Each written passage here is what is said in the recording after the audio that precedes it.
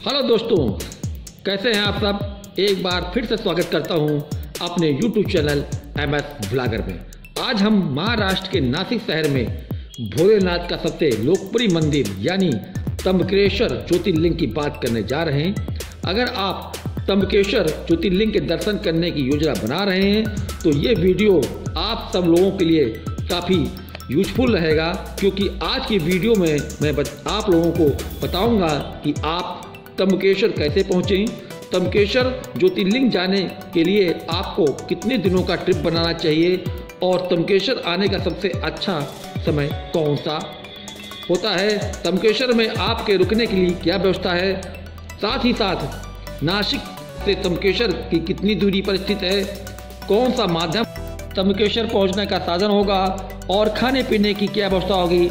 अंत में मैं आपको ये भी बताऊँगा कि नासिक से तम्बकेश्वर ज्योतिर्लिंग की यात्रा करने के लिए एक बज का कुल खर्चा कितना लग जाएगा? तो दोस्तों, बने रहिए मेरे वीडियो में। मैं आपको एक एक कर सारी बातों को विस्तार पूर्वक बताऊँगा, जिससे आपको तम्बकेश्वर ज्योतिर्लिंग यात्रा करने में कोई कठिनाई न हो और आपका खर्चा भी कमाए तो दोस्तों, बिना विलम्ब किए मैं वीडियो को प्रारंभ करता हूँ। सबसे पहले बात करता हूँ कि तम्बकेश्वर ज्योतिर्लिंग कैसे पहुँचे। दोस्तों, यहाँ पर आपके पास तीन तीन ऑप्शन हैं। पहला ऑप्शन की बात करूँ तो वो है आपका बाई ट्रेन दोस्तों, अगर आप बाई ट्रेन के माध्यम से जाना चाहते हैं तो नज़दीकी रेलवे स्टेशन है, वो आपका नासिक रोड रेलवे स्टेशन। दोस्तों, अगर आपका बाई ट्रेन माध्यम है तो आप नासिक रोड उतर सकते हैं। आपको देश से प्रमुख शहरों से आपको नासिक रोड के लिए ट्रेनें मिल जाएँगी। तो आप नासिक रोड पहुँचिए। वहाँ से 30 से 32 किलोमीटर की जो दूरी आपकी बाई रोड है, वो आप तय कर सकते हैं। दोस्तों, ये दूरी मैं आपको बताऊँगा कैसे तय कर सकते हैं। सबसे पहला ऑप्शन है, वो आपके पास है बाई बस। दोस्तों, रेलवे स्टेशन के बाहर से आपको सिटी बस देखने को मिल जाएँगी। साथ ही साथ आपको वहाँ ऑटो भी मिल जाएँगे। ऑटो वाले से कहना कि हमें बस स्टैंड छोड़ दे। इसको मेला बस स्टैंड भी बोला जाता है। तो आप वहाँ से सात किलोमीटर की दूरी पर स्थित है। आपका मेला बस स्टैंड, वहाँ आप आज आ सकते हैं। मेला बस स्टैंड से आपको डायरेक्ट बसें मिल जाएँगी। वो आपको तबकेश्वर छोड़ देगी। तीस किलोमीटर की दूरी ये मान कर चलिए कि एक घंटा का समय लगेगा। वही बात करूँ, बस की टिकट का तो आपको दोस्तों 20 से 25 रुपए एक बज का टिकट लग जाएगा। वो आपको तमकेश्वर बस स्टैंड पर छोड़ देगा। ये था दोस्तों, अगर आप सिटी बस, सरकारी बस से आना चाहते हैं, अगर आप खुद की गाड़ी या बुक कराकर जाना चाहते हैं तो वहाँ से आपको कैब व टैक्सी बुक कराकर जा सकते हैं। टैक्सी वाला आपसे आठ सौ रुपये से नौ सौ रुपये लेगा और आपको आराम से तमकेश्वर छोड़ देगा कि वो आपसे 40-45 मिनट लेगा। तो दोस्तों, ये था आपका बाई ट्रेन से आ सकते हैं। अब मैं दूसरे ऑप्शन की बात करूँ तो वो है आपका बाई फ़्लाइट। अगर आप बाई फ़्लाइट आना चाहते हैं तो आपको क्या माध्यम होगा? तो दोस्तों, आपको नासिक एयरपोर्ट आना पड़ेगा। वहाँ से टैक्सी, बस, जो भी आप चाहें, वहाँ से तनकेश्वर मंदिर पहुँच सकते हैं। दोस्तों, तीसरा ऑप्शन है वो आपका बाई रोड। तो दोस्तों, महाराष्ट्र में स्टेट ट्रांसपोर्ट की बसें की सर्विसेज़ हैं, जो वहाँ काफ़ी ही ज़्यादा अच्छी मानी जाती हैं। अगर महाराष्ट्र से हैं तो आसानी से बस मिल जाएगी, चाहे वो स्टेट बस हो या सिटी बस हो। अगर आप अन्य राज्य से आ रहे हैं तो आपको नासिक तमकेश्वर के लिए आसानी से बस मिल जाएगी। तो कुल मिलाकर आप बाई रोड आसानी से यहाँ आ सकते हैं। चलिए दोस्तों तमकेश्वर हम पहुँच चुके हैं। अब हम बात करते हैं कि हम तमकेश्वर में कहाँ रुकें आपका होटल भी अच्छा हो और कम की कीमत भी हो। सबसे पहले ऑप्शन की बात करूँ तो वो है आपका गजानन स्वामी ट्रस्ट का रूम। ट्रस्ट की तरफ़ से आपको रूम व खाने की सर्विस उपलब्ध कराई जाती है। तो आप गजानन स्वामी के ट्रस्ट में आप रुक सकते हैं, रूम देख सकते हैं। अगर मैं नॉन एसी रूम की बात करूँ तो आपको चार सौ से रुपये से पाँच सौ रुपये तक आपको किराया देना होगा। अगर वहाँ आप रुक सकते हैं, यही मैं एसी रूम की बात करूँ तो आपको नौ सौ रुपये से एक हज़ार रुपये तक आपको देना पड़ेगा। इसी के साथ खाने पीने की बात करूँ तो आपको गजानंद स्वामी संस्थान का ट्रस्ट है। वहीं पर आपका प्रसादालय यानी भोजनालय है तो आप वहाँ टोकन पचास रुपये का कटाकर भरपेट भोजन कर सकते हैं। दूसरा ऑप्शन है, वो तमकेश्वर मंदिर है। उसके संस्थान की तरफ़ से, वहाँ शिव प्रसाद की तरफ़ से गेस्ट हाउस है। तो वहाँ आप अपना स्टे बना सकते हैं। ये गेस्ट हाउस शिव प्रसाद तमकेश्वर मंदिर के पास ही बना हुआ है। यहाँ पर किराया की बात करूँ तो आपको तीन सौ रुपये से चार सौ रुपये तक पड़ जाएगा।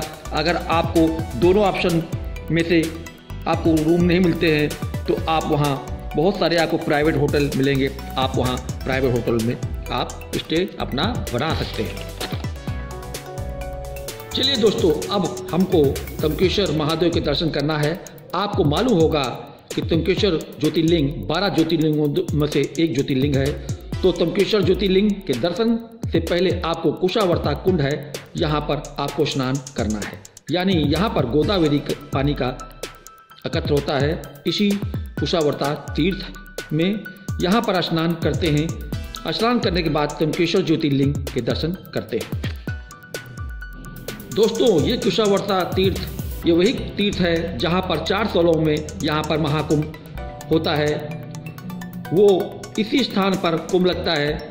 वो नासिक के तमकेश्वर में गोदावरी के तट पर कुशावर्ता तीर्थ में महाकुंभ लगता है। ये वही कुंड है। तो आप स्नान करिए। स्नान करने के बाद आपको तमकेश्वर ज्योतिर्लिंग के दर्शन करने हैं। दर्शन में लगने लाइन में लगने से पहले आपको कुछ बातों का ध्यान रखना है। आपके पास मोबाइल, कैमरा, सेल्फी, स्टिक न हो। अगर आपके पास ये सारी चीज़ें हैं तो वहाँ पर लाकर में रख सकते हैं। वहाँ पर आराम से जूते चप्पल के स्टैंड बने हुए हैं। वहाँ पर अपने जूते चप्पल रख सकते हैं। आपको महादेव के दर्शन करने के लिए लाइन में लगना है। महादेव का नाम लेते रहिए। लाइन में लगिए और कुछ कुछ ही देर में आपको महादेव के दर्शन मिल जाएँगे। अब बात कर लेते हैं कि तमकेश्वर ज्योतिर्लिंग के दर्शन करने के लिए किस समय योजना बनानी चाहिए, जिससे जल्दी से जल्दी आसानी से दर्शन हो सके और भीड़ का सामना भी न करना पड़े।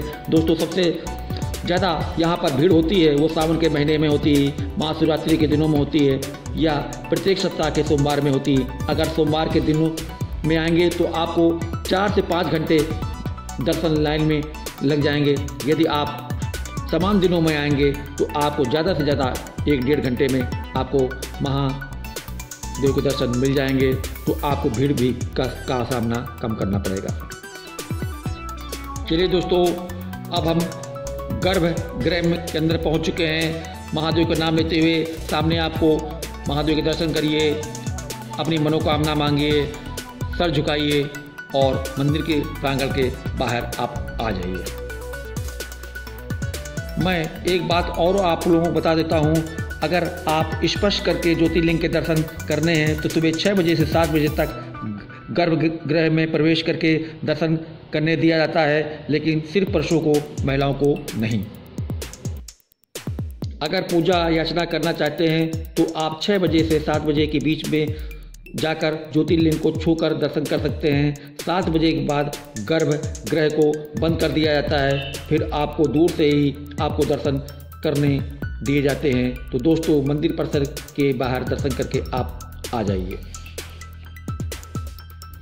चलिए दोस्तों, अब बात करते हैं कि आपको तमकेश्वर में और कौन कौन से दर्शनीय स्थल के दर्शन करने हैं। सबसे पहले बात मैं करता हूँ ब्रह्मगिरी पर्वत की। दोस्तों, ब्रह्मगिरी पर्वत 1800 फीट पर बना हुआ है। ये ब्रह्मगिरी पर्वत जाने के लिए मान कर चलिए कि आपको 1500 सीढ़ी चलकर जाना पड़ेगा। ब्रह्मगिरी में गोदावरी का उद्गम स्थल है तो इसी ब्रह्मगिरी पर्वत से गोदावरी का उद्गम होता है तो आप यहाँ दर्शन करिए। जैसे ही आधे दूरी में पहुँचेंगे तो आपको जटा शिव का मंदिर मिलेगा, जहाँ पर शंकर जी ने अपनी जटा को पटका था। यहाँ भी दर्शन करिए। आगे चलकर आपको राम कुंड लक्ष्मण कुंड मिलेगा। तो आप इस कुंड में जाकर जल ग्रहण करिए और इनके भी दर्शन कर सकते हैं। ब्रह्मगिरी पर्वत पास ही आप गोरानाथ गुफा है। गोरानाथ गुफा में लगा हुआ आपको नीलाम्बी देवी मंदिर है। यहाँ भी जाइए, दर्शन करिए। ये सभी स्थानों के दर्शन करने के बाद अब चलते हैं और विज़िट करेंगे नासिक को।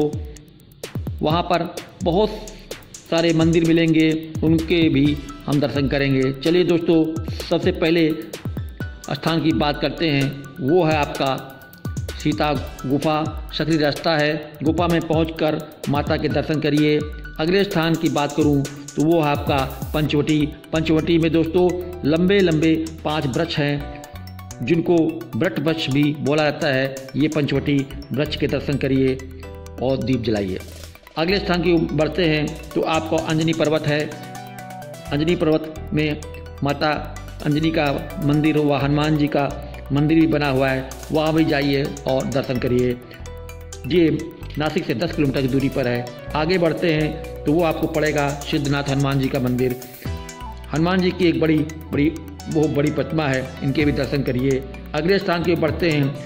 आपका पड़ेगा गंगा गोदावरी मंदिर। गंगा गोदावरी मंदिर नासिक से कुछ ही दूरी पर बना हुआ है। यहाँ भी दर्शन कीजिए। इस तरह से नासिक को पूरी तरह से घूम सकते हैं। चलिए दोस्तों, अगली बात करते हैं कि ये सारे स्थान घूमने के लिए एक वृत्त का कितना खर्चा आ जाएगा? ब्रह्मगिरी के पास दर्शनीय स्थलों को आप पैदल जाकर दर्शन कर सकते हैं। अगर नासिक की बात करूँ तो वहाँ आप टेंपो करके ये स्थान घूम सकते हैं। ऑटो वाला आपसे चार सौ रुपये से पाँच सौ रुपये लेगा और आपको सारे स्थानों पर घुमाकर आप रेलवे स्टेशन पर या जिस स्थान पर कहेंगे, वहाँ आपको छोड़ देगा। अगली बात करते हैं कि हमको नासिक घूमने के लिए कितने दिनों का प्लान बनाना चाहिए। तो ये मान के चलिए कि दो दिन एक रात सफिशेंट है। पहले दिन आप तमकेश्वर ज्योतिर्लिंग या ब्रह्मगिरी पर्वत या उसके आसपास के दर्शनीय स्थल घूम सकते हैं। दूसरे दिन आप नासिक आकर दर्शनीय स्थल घूम लीजिए। चलिए दोस्तों, अब बात करते हैं कि एक बज का खर्चा कितना लग जाएगा। अगर आप बजट होटल में रुकते हैं, ट्रस्ट का भोजन करते हैं और एक नाइट, टू डे रुकते हैं तो ये मांग चलिए कि दो हज़ार रुपये से ढाई हज़ार रुपये एक बज का खर्चा आ जाएगा। इसमें मैंने किसी तरह का ट्रेन का टिकट या फ़्लाइट के टिकट को नहीं ऐड किया है, इसमें केवल बस का टिकट या होटल का किराया को मैंने ऐड किया है। तो दोस्तों, ये था तबकेश्वर ज्योतिर्लिंग यात्रा का संपूर्ण वर्णन। अगर आपके मन में कोई प्रश्न उठता है तो मेरे इंस्टाग्राम में जाकर अपने प्रश्न पूछ सकते हैं। इससे पहले किसी के अन्य की वीडियो में आप हो जाएँ। उससे पहले मेरे चैनल को एम एस ब्लागर को सब्सक्राइब कर लें। इस वीडियो में बस इतना ही। मिलते हैं अगले वीडियो में एक नई यात्रा के साथ। तब तक के लिए शुक्रिया। हर हर महादेव। आपकी यात्रा मंगलमय हो।